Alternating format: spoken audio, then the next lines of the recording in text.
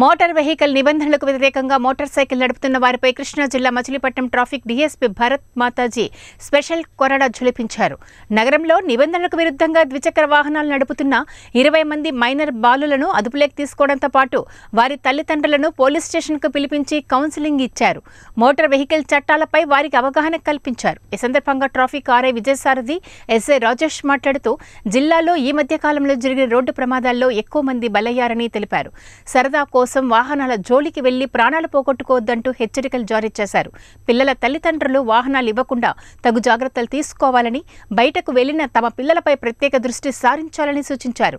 అంతేకాకుండా వారికి వాహన చట్టం ప్రకారం జరిమానా విధించారు. సరదా పడుతున్నాడంటే సరదా తర్వాత ఎక్కడికి వెళ్తుందంటే చివరికి ఇక్కడ వరకు వస్తుంది కానీ ఫస్ట్ అండ్ లాస్ట్ వార్నింగ్ మీకు చెప్పడం అసలు యాక్చువల్లీ నేను సిఏ సార్ అన్నా. డిఎస్పీ గారు కూడా రావాలి. అయితే సార్ వేరే మీటింగ్లో ఉండడంతో మేము అందుకని ఇక్కడ వరకు మిమ్మల్ని పిలిపించింది ఒకటే అండి. ఇదే ఫస్ట్ అండ్ లాస్ట్ వార్నింగ్. మీకు ఇంకొకసారి మేము already bike number without proper document proper licence లేకుండా జోలతో నేరంగా ఆ విషయం మాకు తెలియక మా తల్లిదండ్రులు చెప్పకుండా మేము బళ్ళు తోలుతున్నాం.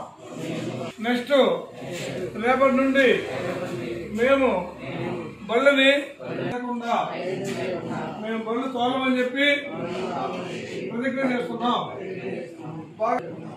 ఓకే.